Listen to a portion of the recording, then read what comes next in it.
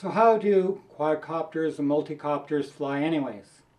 They depend on the flight controller and the ESCs, or the electronic speed controllers, to vary the speed or the RPM on each of the motors in order to have the aircraft respond according to the pilot's desires. In this video, I'm going to assume that you already understand some of the basics such as thrust and lift and gravity, and we're going to look more specifically at roll, pitch, yaw, and cause and effect. So, what is roll? Well, the roll axis travels down the center of the quadcopter from front to back. In order to have the quadcopter or multicopter roll around the roll axes in, th in this fashion, then the ESCs and the flight controller must speed up the motors on this side and decrease the motors on this side in order to have the aircraft roll like that. Likewise, if we want the aircraft to roll around the roll axes in this fashion, then the motors on the right side must increase and the motors on the left side must decrease. And that will give us that type of a roll. Now how about pitch?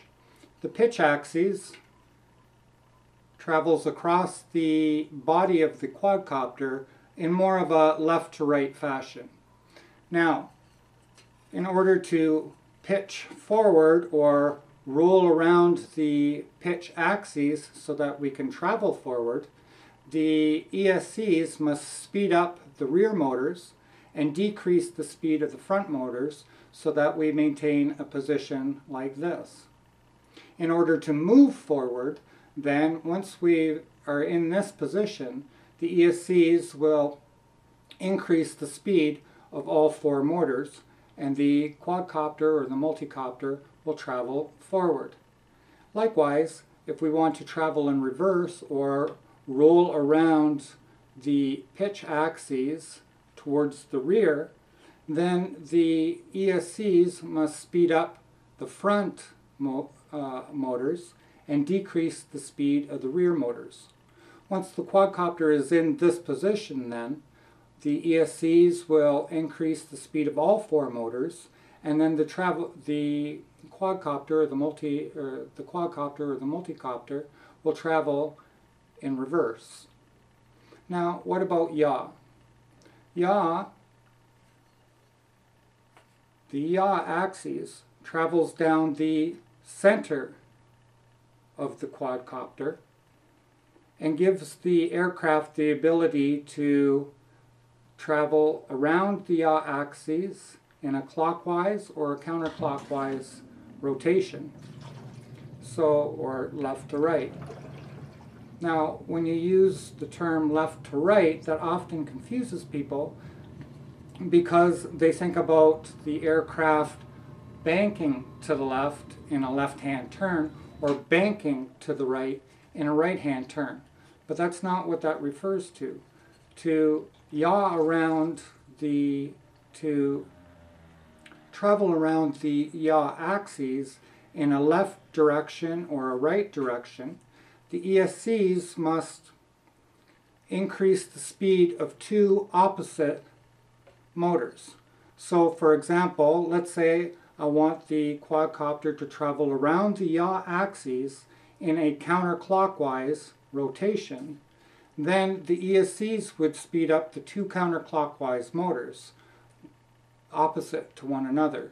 So counterclockwise motor, counterclockwise motor will give a counterclockwise rotation.